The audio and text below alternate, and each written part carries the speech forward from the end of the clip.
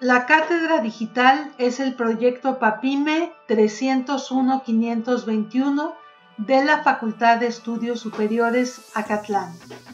Este proyecto tiene un gran equipo de 23 profesores de la UNAM, la UAM Xochimilco, la Universidad Tecnológica Fidel Velázquez y la Universidad de Oviedo en España. Nuestro propósito fue crear un modelo educativo HiFlex híbrido y flexible, llamado precisamente la cátedra digital. Este modelo ha funcionado tanto durante la pandemia como ahora en el regreso a lo presencial o en forma híbrida.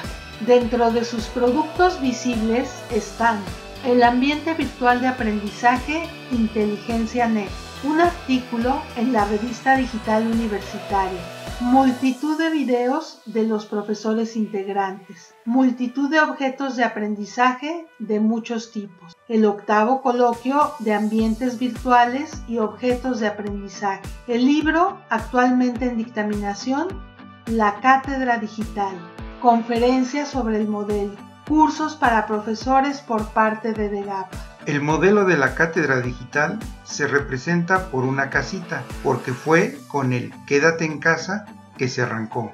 Los cimientos están conformados, primero, por el ambiente virtual de aprendizaje, que es el centro de operaciones de todo el trabajo.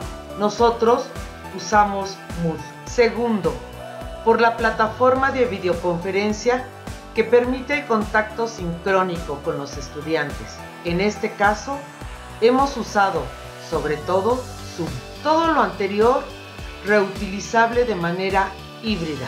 Las paredes son los recursos y las actividades. De los recursos, lo primordial son los videos. Por su parte, todos los recursos deben estar vinculados y ser necesarios para realizar las actividades. Los recursos y las actividades se distribuyen a los alumnos a través del ambiente virtual de aprendizaje. Por último, el techo es el enganche o engagement de los alumnos en cualquiera de las modalidades educativas, incluida la híbrida. Esta es nuestra meta. Para ello, se sugiere que los videos sean de 3 a 6 minutos, de acuerdo con investigaciones sobre la atención de los alumnos. Por otro lado, se sugiere que las sesiones de Zoom sean de máximo media hora y se tenga aprendizaje activo para favorecer la atención de los jóvenes. De la misma forma, el modelo de la cátedra digital está fundamentado en 13 referentes teóricos, lo cual le da una gran solidez. Por todo lo anterior, estamos seguros de que la educación post-confinamiento no volverá a ser lo mismo que era antes y ahora en modalidad híbrida debe ser mucho mejor.